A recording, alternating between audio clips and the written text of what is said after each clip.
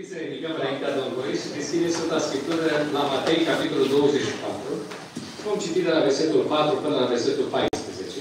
Pagina Scripturii, ediția Cornelescu, 952. Evanghelia după Matei, capitolul 24, de la versetul 4. Drept răspuns, Iisus le-a zis, băgați de seamă să nu vă înșele cineva. Fiindcă vor veni mulți în numele meu și vor zice, eu sunt Hristosul și vor înșela pe mulți. Veți auzi de războaie și vreți de războaie. Vedeți să nu vă spăimântați, căci toate aceste lucruri trebuie să se întâmple. Dar sfârșitul tot nu va fi atunci. Un neam se va scula împotriva altui neam și o împărăție împotriva altei împărății și de alocurile vor fi cu treburile de pământ, foamete și ciuri. Dar toate aceste lucruri nu vor fi decât începutul durerilor. Atunci, vă vor da să fiți chinuiți și vă vor omorâ și veți fi urâți de toate neamurile pentru numele meu. Atunci mulți vor cădea și se vor vinde unii pe alții și se vor urâ unii pe alții. Se vor scula mulți proroci mincinoși și vor înșela pe mulți. Și din pricina mulțirii fără de legii, dragostea celor mai mulți se va răci. Dar cine va răda până la sfârșit va fi mântuit. Evanghelia aceasta împărăție va fi propovăduită în toată lumea, ca să slujească de mărturie tuturor neamurilor. Atunci va veni sfârșitul. Amin. Amin. Vreau să reocupați locurile. În seara asta o să încep un mesaj în care să vorbesc despre vremea din urmă, despre timpul pe care îl trăim noi momentan, acum, ca să fim pregătiți pentru timpul acesta. Și probabil partea a doua mesajului vom discuta la o altă slujbă pe care vom avea împreună. Aș vrea să vă spun că, din punct de vedere economic, financiar, militar, social, spiritual, am intrat într-un fel de pâlnie. Câtă vreme pâlnie e mai largă, te mai poți întoarce. Dar pe măsură ce pâlnia se îngustează, nu mai poți să te mai întorci. Lucrurile încep să te poarte spre zona aceea în care ești forțat să intri pe ea. Ori aș vrea să vă spun că niciodată nu va mai fi ce a fost. Este adevărat că a fost o vreme când ne gândeam la proiecte, când ne gândeam la case, când ne gândeam la piscine, când ne gândeam la bani, la excursii, când ne gândeam la concedii în Dubai, când ne gândeam la o grămadă de lucruri pentru că ne permiteam. Și sănătate câștigam și bani, era stabilitate pentru foarte mulți. Și în mediile creștine chiar am întâlnit oameni care, cum să nu fac eu concediu în Antalya? Cum să mă duc, nu mă duc pe un cutare loc? Păi dar viața îmi stă înainte. O grămadă de spargeri de asta în figuri așa. Dar de ce? Mașina mea era veche dar nu mi pot permite să o țin de veche. Eu n-am veche tocmai. Trebuie să-mi iau una cât mai nouă să o parchez la biserică. Bă, dar ce nu o parchez acasă? Nu, că la biserica e Acolo lucrarea trebuie făcută în, în modul corespunzător. Și am început la un moment dat să facem tot felul de concurență, tot felul de stiluri, să umblăm cu haine deosebite, care mai de care, și asta vorbesc de oameni care erau și aveau căluză Duhului Sfânt. Vorbesc de oameni care îl cunosc personal pe Domnul Isus și ci că vor să mani în Împărăția Lui. Ce să mai știu la ceilalți. Și dintr-o dată Dumnezeu a pus frână la tot. La tot. Nu s-a gândit nimeni, absolut nimeni. Nici cei ce au organizat toate lucrurile astea nu s-au gândit că toată lumea se va opri. Nici cei ce au organizat lucrurile astea nu s-au gândit. Ei au gândit, vine o frână bruscă peste toată, să verifice dacă se poate controla toată economia, după care dau drumul la manete și toată economia pleacă ca din pușcă, realizând mai ceva de ce a fost înainte. Numai că n-a avut nimeni în plan războiul din Ucraina. N-a avut nimeni în plan criza cerealelor și foamea de lume care începe să așeze. N-a avut nimeni din plan că nu știe nimeni unde să ducă. Că viața niciodată nu va mai fi la fel. Ori acum, Scriptura vine la noi să ne spună că sunt câteva lucruri pe care trebuie să știm cum să le așezăm. Nu voi vorbi în seara aceasta de cium, de boli, de virus. Nu voi vorbi de microbi. Nu voi vorbi de organisme microscopice modificate la laborator. Nu voi vorbi, nu voi vorbi de războaie, efectiv. Voi vorbi de câteva lucruri care trebuie să țineți cont de ele, că semnele vremurilor din urmă. Și în funcție de asta, trebuie să avem o anumită abordare a lor. Că dacă nu avem abordarea care trebuie, tot mai pierdem. Primul lucru pe care vreau să-l subliniez, că e un semn al vremurilor din urmă, este timpul scurtat. Sfânta Scriptură spune în Matei, capitolul 24, cu versetul 22, așa. Și dacă zilele acelea n-ar fi fost scurtate, nimeni n-ar scăpa. Dar din pricina celor aleși, zilele acelea vor fi scurtate. Nu se referă de timp scurtat, de zile scurtate. Dumnezeu are orarul Lui.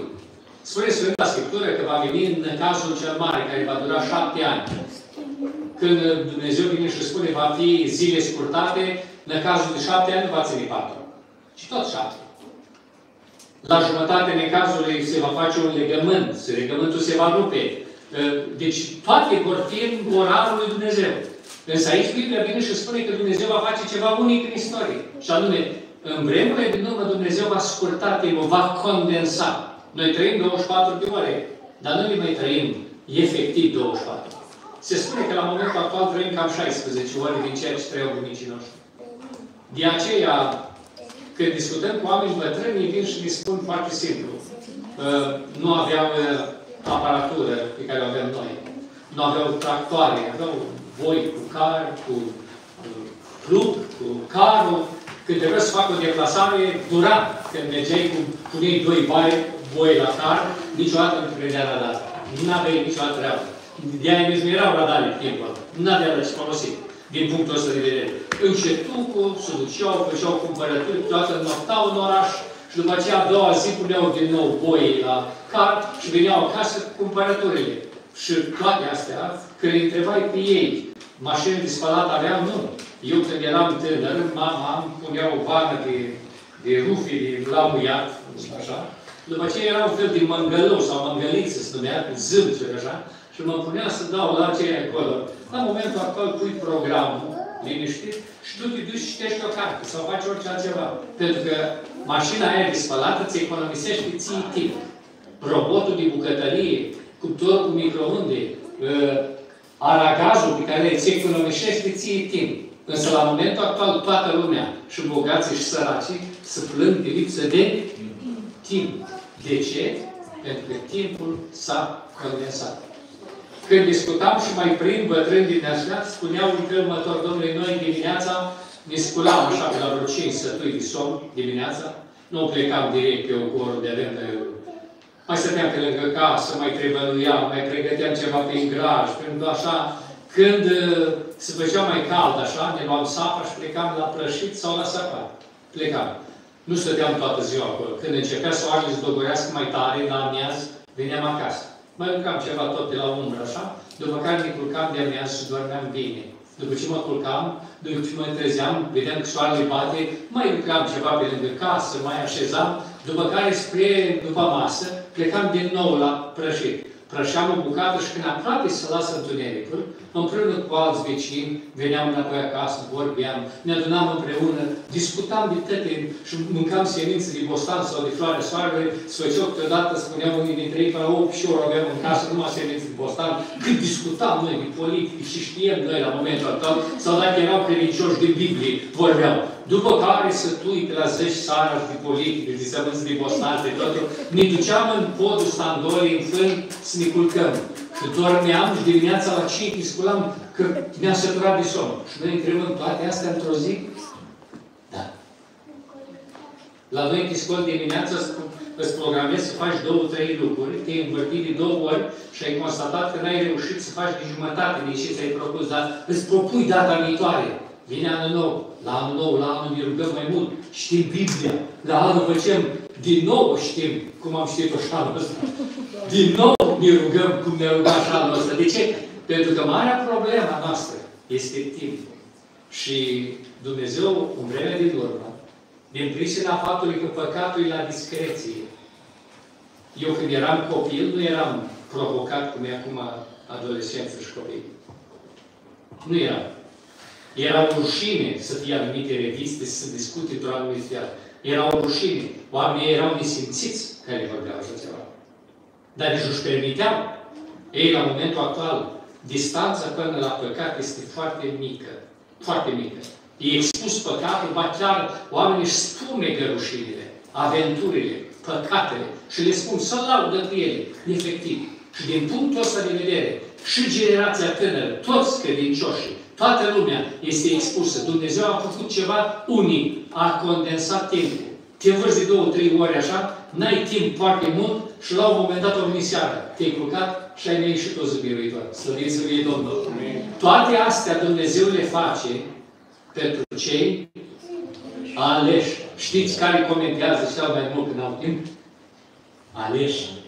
Aleși comentează. Nu timp, domnule, n-am timp. N-am timp să fiu la adunare. N-am timp să fiu la repetiții. N-am timp de cutare. Măi, dar Dumnezeu pentru tine a făcut lucrul ăsta unic în istorie, măi. O scurtat timpul ca tu să rămâi ales pe la capăt. Să rămâi credincios pe la capăt. Și tot tu comentezi că ai timp? Au dreptul oamenii din lumea aceasta. Oameni supărați. Le spuneam odată și le mai povestesc câteodată la frață, așa că înainte când un băiat vrea să vorbească cu o fată, nu avea telefon să-i scrie SMS. Dragă, te iub. Și ea trebuie să știe imediat ce urmează la iub. Scria acolo, completat, nu pe jumătate de cuvânt. El s-a apucat și începea să scrie o scrisoare. Așa. Scria scrisoarea, nu i ieșit lăul bine. Zicea, foaia, are, într-o dată. Îi scria cu tare, nu știu câte probe pe care trebuie să fata să uita și cum scrie. Dacă scrie așa ca cu laba gâștii, nu vorbea gândul. Ei, și el scria, când reușăm sfârșit să scrii scrisoarea, împătuream frumos, punem într-un plic de de cu parfum și trimitea prin poșta poștașul meu să scrisoarea eu ducea la domnișoară și uite așa domnișoare trimitea și ea o scrisoare și ăsta îi trimitea o scrisoare. Citeam de un caz din China când unul s-a drăgostit o fată și a scris nu știu câte zeci de scrisori. Și fără să se ducă la ea. Eu scris scrisori. Și până la urmă fata s-a căsătorit cu poștașul. A pus scrisori poștașul. Fata s-a căsătorit cu poștașul. Însă, stimații mei, cam așa avea loc atunci o apropiere. La momentul actual, din cauza lipsei timpului, oamenii au dat la o parte toate barierele. Există dragoste de noapte, barierele s-au dat la o parte absolut, ca oamenii să ajungă mai repede la plăceri și la păcate. Să ajungă mai repede acolo, să se desfete în ele. Și tot n-au timp. Tot comentează că n-au timp. Nu numai atât, suntem bombardați cu o grămadă de invenții. Spune Scriptura că în vremea din urmă cunoștința va crește. Și din pricina că cunoștinței crescute în toate domeniile avem materiale noi. Avem geamuri, termopan nou, geamuri ecologice, avem uh, cărămidă din un anumit fel, trese din fel, aparatură, telefoane, aparatură electrocasnică, care mai de care mai economă, care mai de care cu telecomandă, care mai de care mai modernă. Și toate astea vin și te bombardează pe tine și îți spune trebuie să o ai. Că dacă nu o ai, nu ești, nu ești din, din cartierul ăsta. Trebuie neapărat să faci efortul ăsta. Și oamenii la un moment dat spun, băi, chiar trebuie să o am. Trebuie să am casa asta. Trebuie să am mașina asta. Chiar dacă rămân dator, dar e important să circul cu o bombă din oraș, așa, toată lumea să spună, băi, ce mașină grozavă. Șoferul nu prea vede, e micuț după volan, dar mașina este grozavă, extraordinar de, de grozavă. Și ca atare, toate lucrurile acestea duc spre un singur lucru, frații mei. Și anume, foarte mulți dintre noi cheltuim o grămadă de bani pe lucruri care nu ne trebuie, ca să uimim niște oameni care nu le pasă. Nici nu interesează. Efectiv. Ba chiar să doși pe noi cum de-am luat-o înaintea lor. Ori din punctul ăsta de vedere, credincioșii n-ar trebui să se înscrie în concursul ăsta. Nu ar trebui să scrie. Ei ar trebui să așeze lucrurile în prioritate. De ce? Pentru că nu o să avem timp să cumpărăm toate mașinile pe care le dorim. Nu o să avem timp să avem casa pe care le vrem. Nu o să avem timp să mergem în concediile pe care le vrem. Nu o să avem timp. Timpul e scurtat. Marea problemă este că, că veneam aici în Moținut pe aeroport, un frate care m-a sunat, știam de problema lui, foarte bun meseriaș. Foarte bun meseriaș. Dar era atât de prins cu meseria, că pleca dimineață și venea seara la 10. Bineînțeles, cu buzunarele și cu geanta plină de bani. Venea acasă. Venea acasă.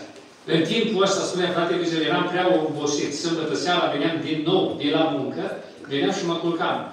Dacă eu nu mă sculam, nu mai pleca nimeni la biserică. Nu mai pleca nimeni la biserică. În timpul ăsta, în timpul ăsta, în loc să-mi zidesc familia, am vreo patru copii, în loc să-mi zidesc familia, eu am umblat după bani. În loc să-mi dreg legătura cu soția mea și la multe cu soția mea m-a lăsat și plecat acum în Londra. S-a dus.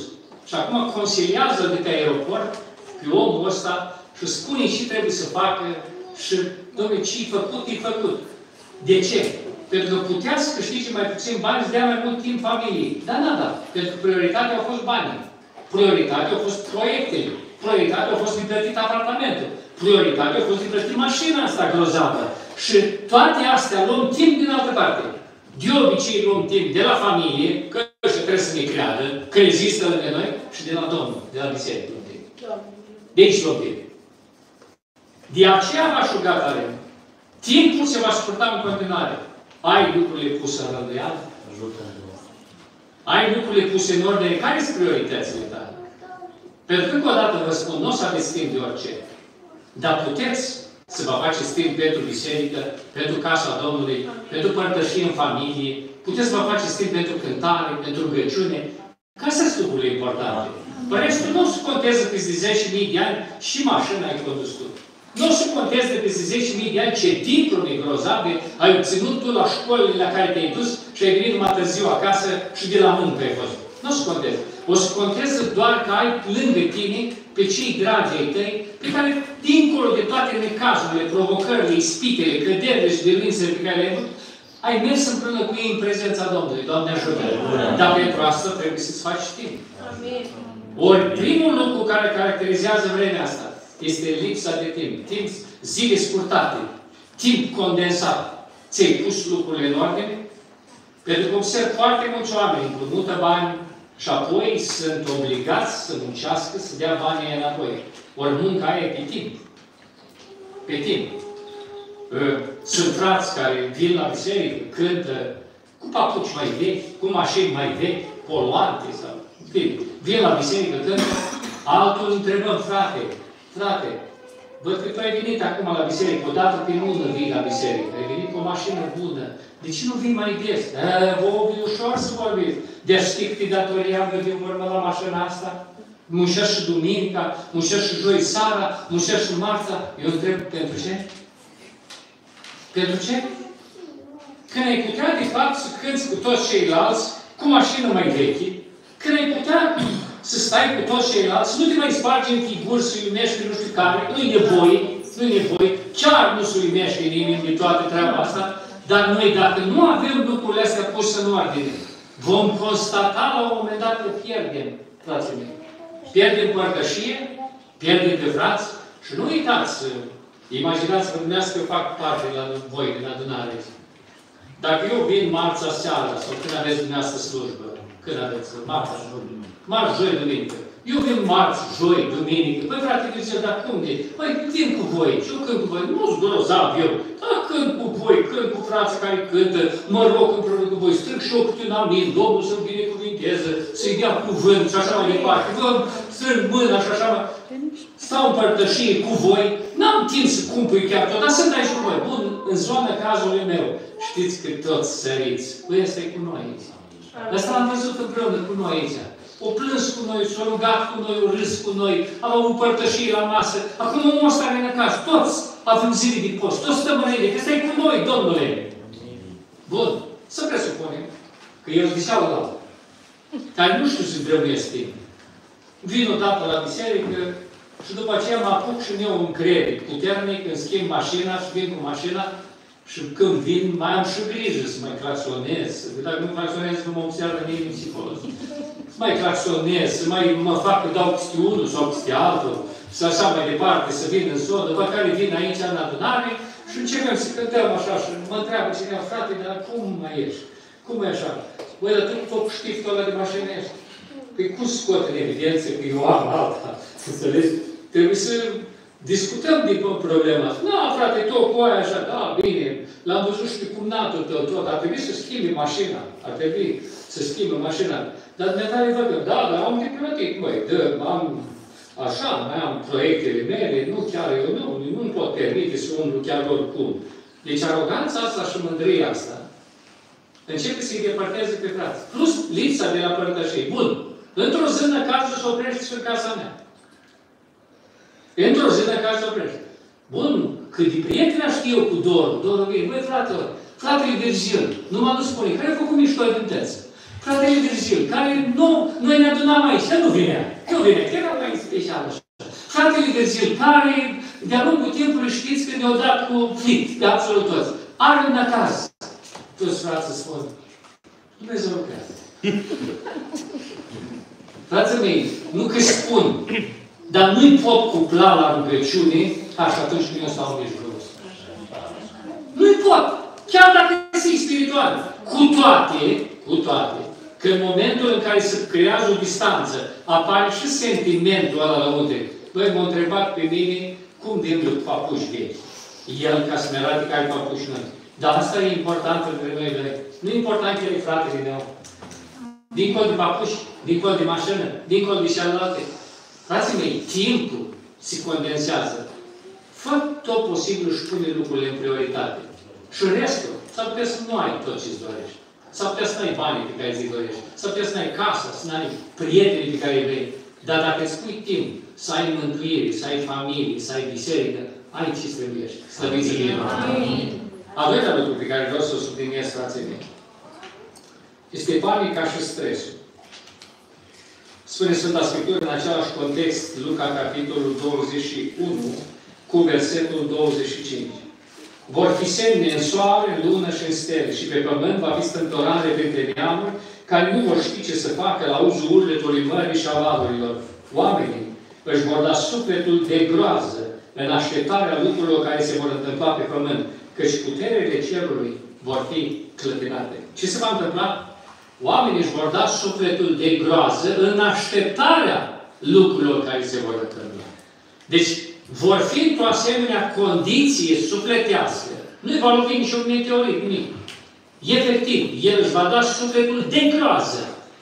Termenul ăsta, mai nou așa, este termenul de panică, de stres, mai nou, moarte subită.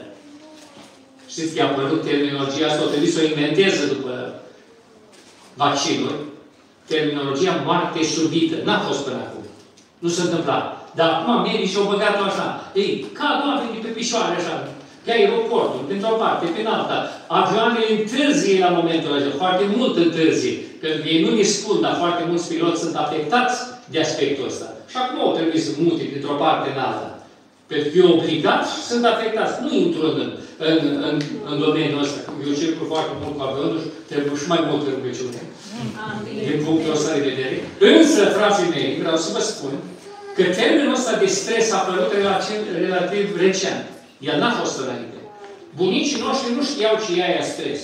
Bunicii erau cumva sus, picau, așa, pe așezat. Aveau timp.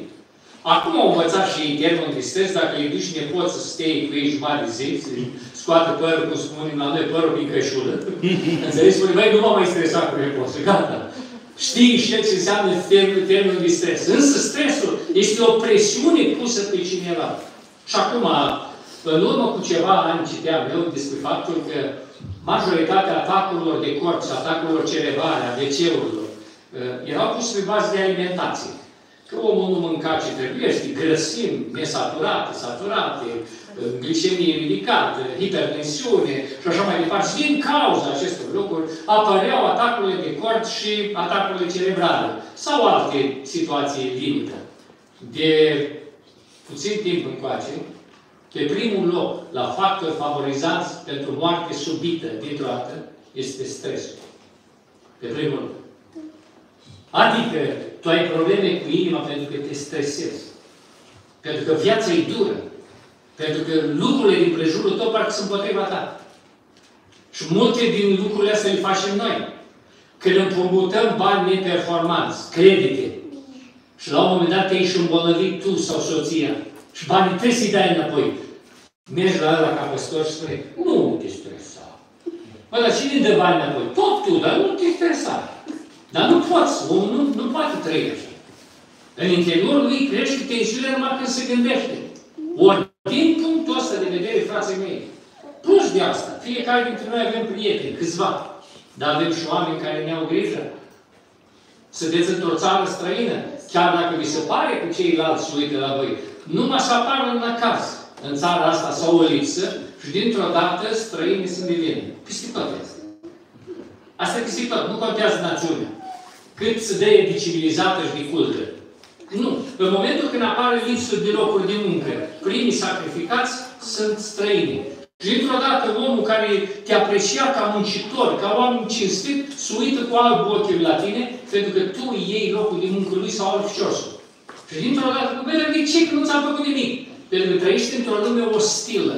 Și lumea aceasta ostilă are impact asupra ta și asupra vieții pe care o trăiești tu. De aceea e foarte important pentru noi să avem grijă ce facem cu sănătatea noastră, în mod special mentală. Depresie și de credincioși. Depresia începe din momentul în care te gândești la tine și stresul, panica, pune pe umerii tăi și stai și te gândești numai la tine. Îmi aduce acum aminte că un, un psiholog vestic din Statele Unite a făcut o conferință despre depresie și depresia acută.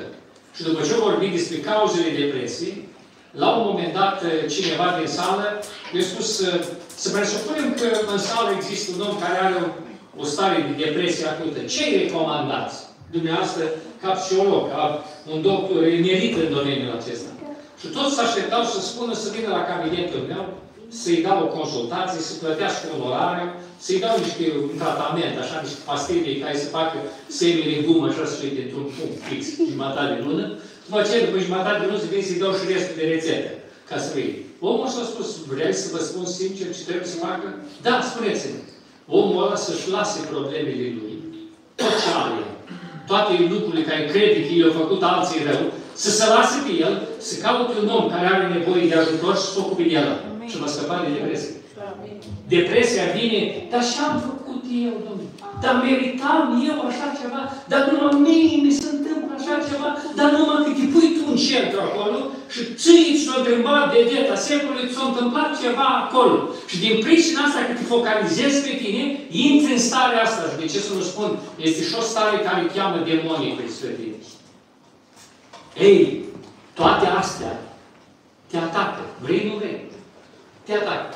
Ce faci cu el? Pentru că din pricina depresiei există oameni care se sinucid. Există tineri în floarea vârstei care și-au viața. Miliardari și milionari se sinucid. Și toți oamenii întreabă de ce. Din cauza panicii și a stresului, a bolilor mentale care apar din cauza acestui lucruri. Credincioșii au o soluție simplă. Foarte simplă. Extraordinar de simplă. Și anume rugăciunea. Amin. E simplu. Tot stresul ăsta, nu, nu suntem imuni la el. Sunt năcazuri, sunt probleme, sunt situații. Dar cu toate situațiile, azi când am stat pe aeroport, am primit o grămadă de telefoane, tot, foarte, cum fac aici, cum fac, ce mi s-a întâmplat, băi, ne rugăm și așa mai departe. Păi, e simplu. Am acces 24 din 24 de ore în sala tronului de domnia celor ce scrie istorie. Nu ziua de azi, istorie. Mă duc în prezența lui și îi spun problemele pe care le am eu, pe care le au alții. Le aduc înaintea lui. El are miliarde de îngeri. Ori Domnul vine și spune, nu vă îngrijorați de nimic. Ce în orice lucru aduceți totul la cunoștința lui Dumnezeu. Dar nu aștepta, Doamne, eu ți-am adus și faci acum. Așteaptă, mă. Așteaptă. Că sunt momente, vedeți în Biblie, în Biblie este scris că la un moment dat o oaie rătăcită s-a rătăcit. Și păstorul ce a vrut? A lăsat pe cele 99, s-a dus după ea. Pentru că era rătăcită. Nu și-a propus să fie rătăcită. A ajuns rătăcită. Fiul risipitor a premeditat plecarea. A spus, dăm partea de avere, prietenilor am o plecat cu partea de avere, îl vedeți pe tata să-i trimită măcar o scrisoare? Bine, măi, acasă, că te aștept în prag, măi, slug de dor după tine, mai nu, nimic. Și când vrea măcar să mănânci și roșcovile, nu-i trimite tata pachetel. Tata l aștepta acasă. De ce? După ce a rătăcit, te duci. Cel care o pleca singur, trebuie să vii singur. Că dacă te duci înapoi, el când vine, întreabă, dar unii mai sunt ceva mai. Pentru că nu învăța lecția. De foarte multe ori spun, Doamne, adune-ne, ăsta e fiul răcitor, adu-l tu înapoi, adu-l înapoi. Adu-l înapoi, în frunta bani, mai dat, făcut mișto din tot, adu-l înapoi. Și Domnul vine și spune, nu, nu, trebuie până n-ajunge la roșcove, până nu-și vine în fire. Eu nu-l aduc înapoi. Tu doar roagă-te și pune în mâna mea. Amin. Amin. Asta tot. Nu forțat-o că rugăciune îl iei pe Dumnezeu, dai jos de tron și pui tu la treabă cu rugăciune. Nu, nu. Rugăciunea este forma în care le aduci lui Dumnezeu la cunoștință ceea ce știi tu și o așezi în fața lui rugăciunea mai mult pentru tine decât pentru Dumnezeu. De aceea e important să te rogi. Imaginați-vă că rugăciunea este și o, o stare din genul ăsta.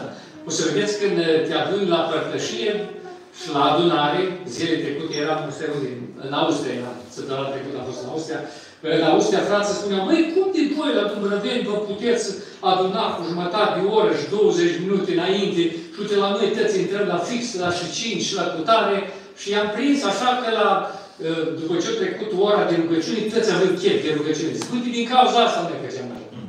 Din cauza asta. Când vii la adunare, poți fi cât de spiritual, măi. Tu vii din lumea asta, tu vii din lupte, tu vii din situații. Tu nu poți să leși serviciu așa dintr-o dată. Te cuplezi ei prin alt registru te gândești numai la Dumnezeu, numai aleluia. Nu, nu. Te gândești la serviciu, altă gospodină se gândește acasă. Băi, am calcat o cămașă la soțul meu. Nu cum a lăsat el în priză. La adunare, se gândește la chestia asta. Sunt o grămadă de lucruri care te leagă. Ei, încep, frate, să cânte prima cântare. Încep să te decuplezi așa mai greuți.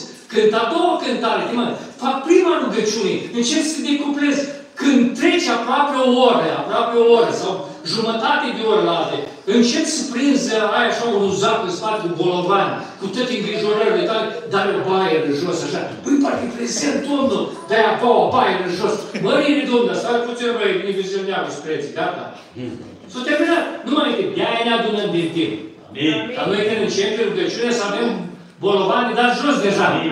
Plecăm din loc. Pentru că rugăciunea este tocmai forma în care dai acele lucruri jos. Tristeța care se întâmplă în viața multor credincioși este că ajung la exercițiul ăsta de performanță, să ia îngrijorările lor, să ia problemele lor și să le pună la picioarele Domnului și să spună, Doamne, ești bolnav. Doamne, aș mai avea nevoie de har. Doamne, aș avea nevoie de iertare. Doamne, aș avea nevoie de o binecuvântare. Doamne, aș avea nevoie de un serviciu mai bun. Doamne, aș avea, dar eu nu pot. Eu doar să le aduc la cunoștința ta. Mulțumesc că mi-ai ascultat, Doamne. Și când se încheie adunarea, își ia înapoi în zacul și pleacă un pușcaș de la marin, agent, agentul gândul în spate. Vorbi pe mine și spune și aruncați asupra lui toate îngrijorările voastre. Adică, domnule, dacă i le-ai dat lui, păi lasă-le lui și du-te singur cu zacul gol, că ai tu mi strângi. Ai tu mi strângi. Nu, nu-ți trebuie neapărat ale vechi. Deci la secționate. Pune-le la picioarele Domnului acolo și pleacă cu un țapul gol. Știți câtă liniște și pace îți dă starea asta? Nu e rezolvat. N-ai avut răspuns. Dar ai pus la picioarele celui care te iubește mai mult decât poți iubi cu tine însuți. Care îți iubește casa mai mult decât poți reuși tu să o iubești. Și familie. Ori din punctul ăsta de greu, ce ai pus acolo și le-ai lăsat acolo, ai ocazia să vezi ce frumos lucrează Dumnezeu. De multe ori ne place să-i dăm indicații. Doamne, m-am rugat pentru asta, da? Te rog în viața lui, intervin așa, așa. Și la un moment dat, Doamne, dar ce n-ai făcut cum am spus și eu? Dar Domnul întreabă, dar până la urmă tu îmi dai indicații, până la urmă cine e Dumnezeu? Eu sau tu? De foarte multe ori cam asta face. Ori Sfânta Scriptură spune, vrei să fii păzit de stres, de panică? Vino rugăciune sempre. V-am mai spus dumneavoastră, pare mi se cândva lucrul ăsta.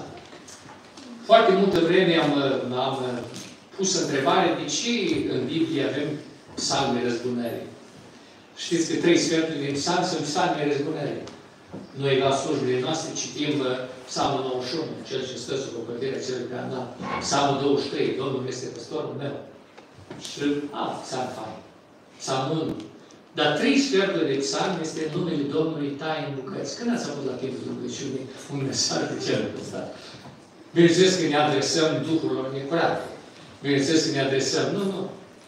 Există psalme răzbunări pe care le veți găsi în Biblie, unii foarte duri. Ce caută ăștia în canonul Sfintelor Scripturii? Am găsit un singur autor creștin care a dat explicația asta pe undeva plăcută. Și el spunea pe următoare. Când cineva îți are grija ta și te enervează, și te supere, și te panichează, și te așa, în mod normal, orice om normal are o reacție. O reacție la ceea ce face. Și reacția asta constă în a vorbi, a spune, a te plânge, a vorbi de rău. Dar ce are ăsta cu mine, mă? mele. A căutat un, un număr pe care să plângi tu așa, chiar dacă umărul ăla nu stă mult acolo, dar să cauți pe cineva să-i spui de problema aceea. Și lucrul ăsta în Biblie este condamnat. Când cineva te ofensează pe tine și tu îl vorbești de rău, și tu îl pârfești, și tu îl defani. Lucrul ăsta e păcat chiar dacă e adevărat. Încă o dată vă spun. E păcat chiar dacă ceea ce spui tu e adevărat. Că sunt frați care spun, e un bandit, domnule, un bandit, un așa, cu tare. Băi, frate, și faci. E adevărat? Nu, nu, chiar dacă e adevărat, tu n-ai voie să faci asta. Dacă fratele tău păcătuit între tine și el, tu n-ai voie să vorbești față de altul. Nu te chema nimeni să mărturisești păcatele altuia. A tale poți să le mărturisești. Că noi, prin vorbire de rău, cam asta facem. Mărturisim păcatele la alții. Nu ale noastre. Mergi să uite ce-a făcut el. Ori Dumnezeu nu te chema să mărturisești cu păcatele lui. Lasă-l el să le mărturisească. Tu mărturisești de ta. Dar vorbirea de rău este o formă prin care tu încerci să te răzbunți și asta este păcat. Dar ce să fac cu el? Simplu. Ia ofensa aia pe care ți-o făcut plus nervii tăi, plus starea aia ta de iritare și vin în fața Domnului și mai fă un psalm. Și spune, Doamne, așa l-ați prinde din gât și v-ați zis deodată din păreți, faci mișto din mine, faci mișto din asta. Ce, ce trebuie lui? Știți că, Doamne, câteodată îmi vine să, să, să, să prind, după dânsul, e vechi, dar mi-e rușine de frază din adunare, dar câteodată ar merita un fugărit pe lângă adunare așa. Ar merita așa ceva. Fratele meu, știi că după ce ai terminat de făcut psalmul ăsta, în timpul lui Dumnezeu îți dă o pace extraordinară. Și asta vă spun eu cu practic. M-am lăsat de grăitul ăsta, de unul și altul. Și am început să practic psalm. Și am avut de făcut o grămadă de psalm. Frate, te încurajează să faci psalm. Te ajută chiar să-i compui. Dar voi, să vezi ce liniște vei avea, să vezi ce pace vei avea. Pentru că te așteaptă Dumnezeu problemele astea. Există oameni care văd, văd că cineva greșește intenționat sau neintenționat și îți pune la păcat. Văd că cineva face mișto din el. Pune lucrul ăsta la inimă. Tot pune, tot pune, tot pune într-o zi, plesnește, e pastele, dar știu, deci. Știu, mi-au avut grijă toată viața. Dar pun și strese. Dar dacă făceai un psalm când trebuia, uite că rezolvai mai problema aia a consumului și pune într-un psalm acolo. După care te sculai și spune, Doamne, Tu iubești mai mult decât te iubesc. Tu știi ce ai de făcut, Doamne. Fă să ajungă mântuit. Doamne ajută. Amin. Și ai să vezi cum Dumnezeu lucrează în timp și îți ascultă psalmul respectiv. Fără ca tu să faci greș. Fără ca tu să scăpi cuvintele potrivite. Că Dumnezeu te așteaptă. Cum l-a acceptat pe David să scrie psalmul și pe ceilalți psalmiști în, în răzbunarea lor cruntă, la fel te acceptă și pe tine. Sunt 150 de psalmi. 151 fac eu, eu ce scriu sujet. Poți să le iei 150 de Dar învață-te problemele astea să le pui ca o formă de psalm înaintea Domnului. Și ai scăpat de cele mai probleme. Doamne ajută! Panica, stresul, nu are putere în viața ta, pentru că îi pleci de genunchi și mai faci un psalm. De aduci pe dușmanii tăi înaintea Domnului. Momentan sunt dușmani. În viața așa. Sunt oameni care, fără să dai de seama de ce, nu te înghit. Încerc să-i spun, mai omule, și eu mă înghit greu, dar cum de tu nu poți chiar deloc? Cum de tu nu poți chiar deloc? Că să mă nu știu, dar mie ăsta pe parte, nu te, nu te suportă.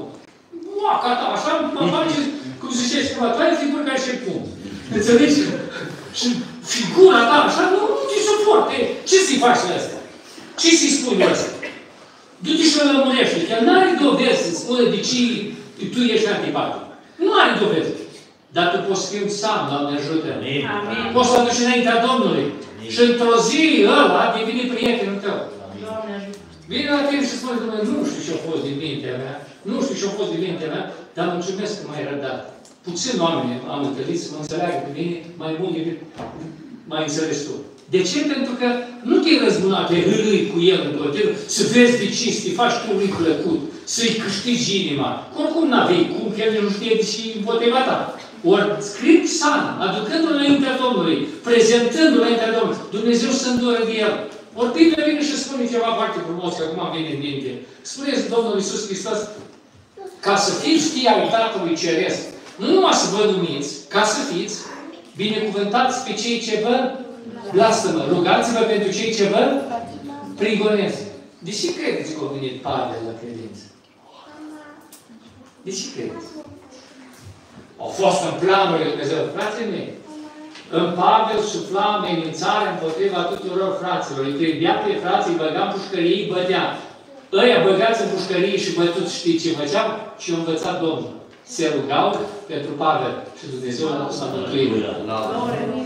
L-a dus la mântuire, simplu. Când Dumnezeu vrea să mântuiască un suflet, îl pune împotriva ta. Noi stăm nervoși în continuu și spune, lasă că prinde, pune pe cineva, lasă că discutăm cu tare, de ce el crede că eu pe venile mele cu și motorină, lasă că discutăm, vorbim, nu mai omule, pun-te la rugăciune și adună înaintea Domnului și Domnul mântuiește. Face fratele tău. Slăvit să fie Domnul. Panica, stresul este un lucru care distorsionează de foarte multe ori o să vedeți că lucrul ăsta are accent la cei care nu vin la rugăciune, care nu practică rugăciune. Nu practică. Sunt oameni temători, sunt oameni timiți, sunt oameni care se tem de orice ce. Practică rugăciune. Rugăciunea nu e făcută pentru elite. Rugăciunea e ceva simplu care vine înaintea Domnului și spui problema ta, te descarci înaintea Domnului, El te ascultă problemele tale și plus de asta are resurse să le poată rezolva pe toate. Lăudați-i Domnul. Simplu. De obicei, Dumnezeu răspunde la rugăciuni care se fac. Nu răspunde la rugăciuni care nu se fac. Spune Sfânta Scriptură, Tatăl vostru știe de ce aveți trebuință mai înainte ca să-i cereți voi. Dar asta nu e studiu ca dus cer. Deci El știe că mie îmi trebuie ceva, îmi trebuie un serviciu mai bun. El știe, Tată. Eu am, am un serviciu pentru El mai bun. Îl am pregătit. Și știu că îi trebuie. Dar Biblia spune, nu aveți, nu pentru că tată n-are, sau nu știe. Și pentru că nu ce. Vorbesc de politică, de Formula 1, și un campionat mondial de fotbal, vorbim de el, și uite așa rămânem fără ce vrea tata să ne dea. Că noi am greit altceva. Vor spune Biblia, nu aveți pentru că nu cereți. Cere, măi, verbalizează ceea ce ai nevoie. Și tata îți dă, Doamne ajută. Pa chiar îți spune, de când am pregătit pentru tine și abia acum ai venit, aproape că e spirat. De aceea e important să te rogi la vremea potrivită. Doamne ajută! Primul lucru și prima caracteristică a vremurilor noastre este timpul scurtat, a doilea panica și stresul și ultimul lucru este ura împotriva Domnului. Societatea în care trăim este o societate foarte permisivă cu orice. Poți să spui că ești un om care crezi în vrăcolași. Oamenii te apreciază. Ba chiar cred că ai văzut vreunul. Poți să spui că crezi în marțieni poți să spui că vrei să realizezi o nouă religie. Ești interesant din punctul lor de vedere. Poți să spui o grămadă de lucruri deosebite. Poți să spui că ai avut tot felul de vise, de vedere. Oamenii te cred. Că ai văzut lumea cum arată. Când ai venit și ai spus oamenilor că ai fost pierdut. Pe tine Hristos te-a salvat și a făcut din tine om pentru familie și pentru societate, tu ai lăsat și o Să duc cu ăștia, cu vrăcolașii, cu marțienii, cu vrăjitorii, cu sataniștii, cu toți. Dar nu putem. Nu putem. De ce? Pentru că societatea noastră foarte permisivă este permisivă cu tot ce înseamnă ceea ce nu-i creștin, ce nu aparține de Hristos. Ei nu pot să-L suporte pe Hristos. Ca atare, ura împotriva Domnului se va acutiza pe măsură ce trece timpul. De aceea foarte mulți frați și chiar surorile noastre au, sunt anumite simboluri după care cunoaștem, frate. După care cunoaștem. Chiar acum mă, mă uitam așa și pe aeroport, mă uit și câteodată când cobor din avion, mă uit așa și după chipul lor, cam îi deosebesc cine sunt frații noștri și surorile noastre. După chipul îi vezi, după felul cum umblă, după felul liniștit așa. Câteodată văd câte unul de astea cu trei rânduri de inele pe aici, cu tatuaje pe gât, cu morță, da? Biblia spune că, fără să știe, ăștia au primit prin îngeri, dar ăștia n-ai cum să-i, să ratezi, să crezi că ai primit îngeri, așa seama. Nu există treaba asta. Îi poți cunoaște pe credincioși cum arată ei. Ori din punctul ăsta de vedere, frații mei, trăim o vreme în care suntem chemați să identificăm pe cei ce sunt ai noștri, și totodată să nu uitați, lumea va iubi ce a ei. Pe tine niciodată nu te vor socoti de-a lor. De-aia nu mă uit la foarte mulți credincioși care s-au pocăit și așteaptă un concediu. Toată lumea, când vine la adunare, să ridici idei, locul, dacă e full adunarea, cam el așa se imaginează pocăința. Când el are vreun moh, ceva, toți ceilalți sar să-i rezolve problema. Frații mei, noi suntem într-un război aici. Diavolul nu rămâne la ușa adunării. El intră aici. Aici te ispitește. Aici te enervează. Aici te provoacă. Și din punctul ăsta de vedere, cât ești tu de pregătit să reziști? Că foarte mulți nu sunt disponibili. Foarte mulți nu sunt gata să reziste. Foarte mulți nu vor să meargă până la capăt. Și de aceea foarte mulți trăiesc sub acoperire. Spunea un coleg de-al meu, de armată, eu am făcut o armată un an și opt luni. Și el se lăuda la cineva și spunea, băi, am făcut armată un an și opt luni, dar nu s-a prins nimic, spune. O lucra sub acoperire, așa e în, în domeniul spionajului, când lucrezi sub acoperire, stai acolo, nimeni, ei consideră de a lor, dar tu de fapt ești de altora. Pocăiții la momentul actual cam așa trăiesc. Scoatem toate simbolurile, scoatem tot ce ne-ar putea identifica ca fiind al Împărăției Lui Dumnezeu, numai ca să fim cu ei. Râdem la poantele lor, prostești, râdem la lucrurile lor, discutăm cu ei că, și că le avem cu toate astea, și cu politica, și cu sporturile, și cu toate celelalte, să prinde că noi le avem, dar nu le spunem odată de Iisus Hristos și Mântuitorul nostru. Oare de ce? Știți de ce? Că este o ură mare împotriva numele Domnului. Și noi nu vrem să fim identificați cu Domnul. Știți cu ce vrem să fim noi identificați? Venim la adunare cum e aici și vin predicatorul și spun, fraților, este în cerul niște străzi de aur, pe alea vom merge. Mărit să fie Domnul, are să Este în cerul un pom al vieții. Dacă mănânci de acolo, nu mai mănânci acolo ajung eu. Este în cerul un râu al vieții, bei apă din aia, în veci de veci, nu-ți va mai fi sete și vei trăi de acolo beau eu apă, de acolo, acolo, disăm excursia acolo. Acolo e excursia noastră, noi mergem la fiecare slujbă. Mi pare rău, coborâm jos înapoi la Göteborg aici. Înțelegi? Și când venim aici, Domnul vine și spune ca să poți ajunge acolo, trebuie să mă mărturisești acum. Amin. Amin. Unde, Doamne, la locul de muncă, la școală, pe stradă, între vecini, trebuie să nu-ți fie rușine de mine. Pentru că și nu ți-a spus ăștia, pe lângă străzile de aur, în locul ăla eu să rege, măi. Eu să rege. Nouă ne place tot. Și străzile de aur, și locul ăla frumos, și împărăția lui Dumnezeu, și viața veșnică. Nu ne prea place de Isus. Cu El ne rușinăm. Când cineva mi spune, nu mai încape nici o îndoială că și tu ești de lor. Eu? Mai, tai, dar eu m-am dus acolo atât și așa, din greșeală, să cunoaște ceva, pentru că nu să facă merire și noi. Ne teamă să ne recunoască. Și acum, frații mei, vă spun ceva. Trăiți în, în Suedia. Dacă premierul suedez și senatul de aici din Suedia erau pentecostali, adunarea era plină cu români. Și noi suntem. și noi suntem. De ce? Pentru că ăștia erau pentecostali și noi suntem fraților. Cum adică? Poate ei nu s-au prins, dar noi suntem.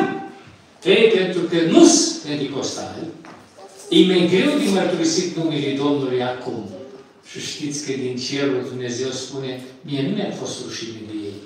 Spune, El a disprețuit rușinea, a luat crucea și a suferit o sândă. Ca noi să fim mântuiți, slăviți de Domnul. Avea 12 legiuni de îngeri și a rămas pe cruce. Disprețui rușinea. Ca astăzi să vadă, tu ți rușine de mine sau nu?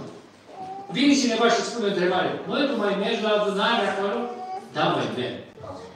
Acolo e prezent Iisus Hristos, Domnul meu. Bine să te lasă. De ce te lasă? Un fier de praf, nu Un fier de praf te lasă. Faci mișto din tine. Dar regele regilor vede că nu ți-e rușine.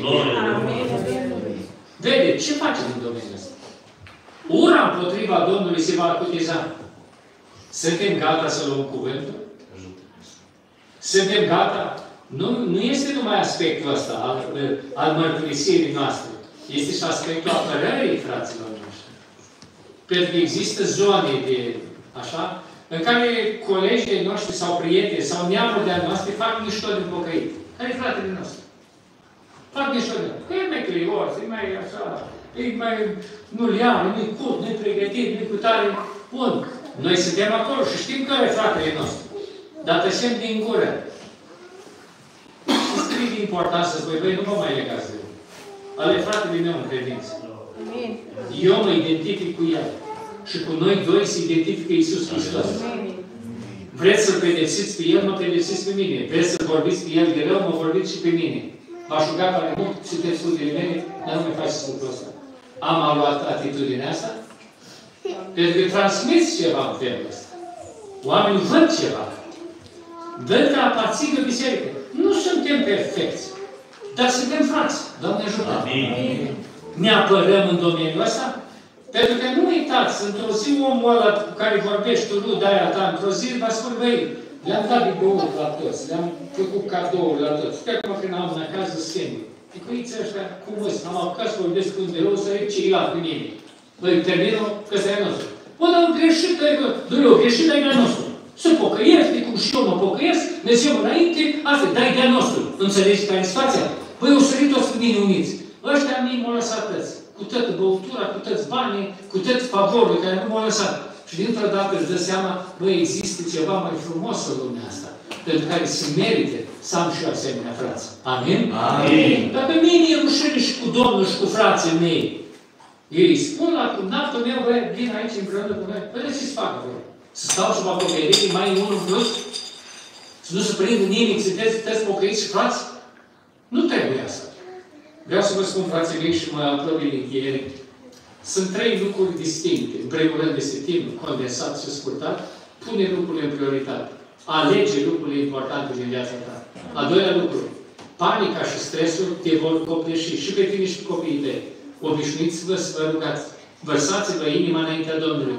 Lăsați rugzacul acolo și plecați în viață. Altfel, rugzacul te va duce la pământ. Te va termina. Și ultimul aspect, ură împotriva Domnului, va fi din ce în ce mai mult. Alege cu cine ești. Nu poți să rămâi așa numai tu cu Domnul. Tu faci parte dintr-o biserică. Alege să fii cu biserica, cu frații tăi, cu Domnul Isus Hristos.